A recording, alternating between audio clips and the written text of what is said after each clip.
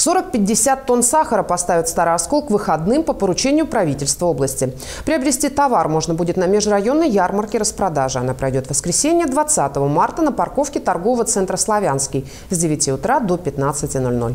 На прилавках будут представлены более 200 товаров производителей и фермеров Белгородчины и соседних областей. В ярмарке примет участие агрохолдинг «Сибагра» со свининой по привлекательным ценам.